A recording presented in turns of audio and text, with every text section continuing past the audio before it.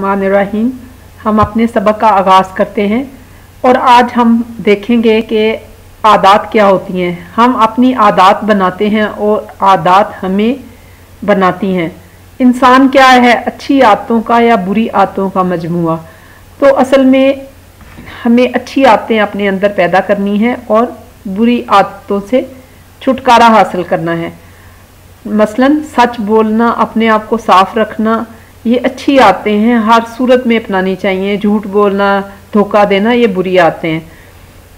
फजीलत क्या है? सिर्फ़ एक आदत जो काम बार बार किया जाए, वो बेहतरीन होता है। एक्सीलेंस या बर्तरी या फजीलत, कुछ भी कह लें, असल में ये एक आदत है बार बार जो आप काम करते हैं, उसमें आप परफेक्ट हो जाते हैं। तो असल में सबसे पहले हमारी सोच मुस्बत होनी चाहिए, क्योंकि जो हम सोचते हैं, वो अल्फाज बन जाते हैं। और प्यारे बच्चों, अल्फाज का चुनाव बेहतरीन करो, क्योंकि ये हमारा रवैया बन जाता है। जो हम बोलते हैं तो हमारे रवैये मुस्बत होने चाहिए, क्योंकि यही हमारी आदतें बन जाती हैं। और अच्छी आदतें अपनानी चाहिए, क्योंकि यही हमारी इकदार बन जाती हैं। क्योंकि आज आप देखो तो हमारी इकदार क्या है? झूठ, करप्शन। और अच्छी इकदार अपनाओगे तो ये तुम्हारी तकदीर बन जाए, बन जाती है। तो इसलिए हमें अपने तकदीर अच्छी बनानी है। तो आज हम ये छोटी ये और बड़ी ये का इस्तेमाल सीखेंगे। ये आपके सामने क्या तस्वीर है? शाबाश। ये एक कील है। तो कील को लिखने की कोशिश करो। तो कैस, कील में काफ, छोटी ये और लाम आएगा। लेकिन जब हम इनको मिला के लिखेंगे तो काफ और ये के शोशे के नीचे दो नुक्ते आएँगे। ये क्या है? शाबाश। ये सेब। इसको लिखने के लिए सीन आएगा, बड़ी ये, से और बेसाकिन होगी। अब देखें, लिखने में छोटी ये और बड़ी ये के दो नुकते ही नीचे लिखते हैं। ये क्या है? जब आप जीत के आते हो तो क्या होता है? ट्रॉफी लेके आते हो। तो जीत में के कौन से हरफ आते हैं? जीन, छोटी ये और ते। लेकिन जब हम लिखेंगे तो छोटी ये की जगह दो नुक्ते शोशे के नीचे लगाएँगे। आसमान का रंग क्या है? इसको नीली छतरी भी कहते हैं, शाबाश। तो नीली के लिए हम लिखेंगे नून, ये, लाम, ये। आप देखें कि छोटी ये जब एंड पे आएगी तो छोटी रे लेगी, लेकिन दरमियान में आएगी तो दो नुक्ते लगेंगे। अब ये क्या है? तेल। अब ते ये बड़ी ये के साथ ते और लाम लिखेंगे, लेकिन तेल के लिख, बड़ी ये भी जब बीच में आ जाएगी तो सिर्फ़ दो नुक्ते शोशे के नीचे रह जाएँगे। हम जब भी कोई नई चीज़ सीखते हैं तो हमारा दिमाग काम करता है। तो सीखना सीखना, सीखा। तो सीन छोटी ये काफ, हे लफा तो इसमें भी लिखने में दो नुक्ते लगे। ये क्या है?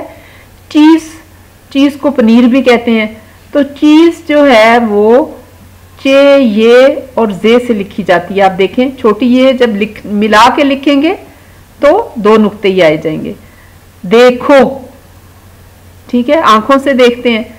तो देखो, दे छोटी ये, बड़ी ये, दे काफ, हे वाओ, खो। लेकिन मिला के लिखेंगे तो ये के दो नुक्ते आएँगे। ये नेक बच्चे बैठे हुए हैं, प्यारे बच्चे बैठे हुए हैं। अल्लाह ताला आपको भी नेक बनाए। तो ये नेक के लिए है, नून बड़ी ये ने काफ नेक। लेकिन जब हम मिला के लिखेंगे तो एक ये का शोशा लगेगा, उसके नीचे दो नुक्ते आएँगे। ये खे, क्या कर रहे हैं? खेल रहे हैं। बच्चे खेल रहे हैं। खेला खेला। तो अब इसमें देखें, काफ है, बड़ी है, लाम, अलिफ, ला। तो जब लिखेंगे मिला के तो ये अपनी तरफ़ इशारा कर रहा है कि मेरा, ये मैं हूँ, मेरा। तो मेरा में आप देखें, मीम, बड़ी ये, रे अलिफ्रा मेरा। तो वही आ गया जब मिल के लिखेगा तो छोटी, बड़ी ये के भी दो नुक्ते आएँगे। ये बच्चा क्या कर रहा है? भीग रहा है बारिश में। भीगा।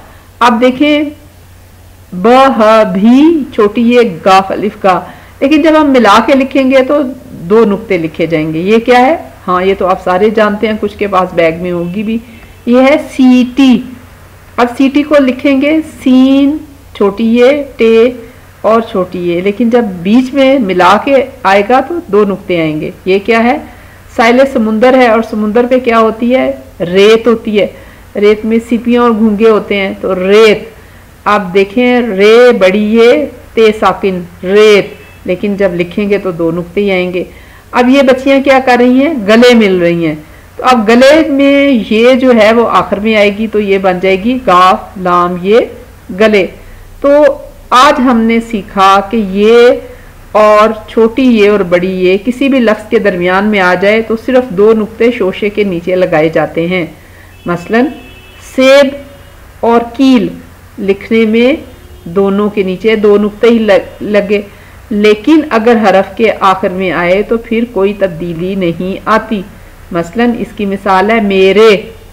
मेरे में आखिर में बड़ी ये आएगी और मेरी में आखिर में छोटी ये ऐसे ही लिखी जाएगी। तो ये वीडियो आपकी खिदमत में पाकिस्तान होम स्कूल की तरफ़ से पेश की गई आप यूट्यूब चैनल पे इसकी दूसरी वीडियोस भी देखें।